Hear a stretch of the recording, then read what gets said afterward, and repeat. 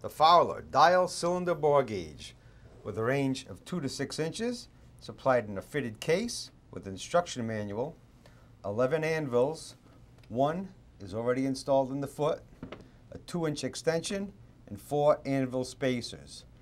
Each anvil has a carbide ball contact, an insulated stem, 5 10 thousandths reading AGD Group 2 indicator, self-centralizing with an insulated shroud for protection of the indicator. Comes with a full one-year warranty.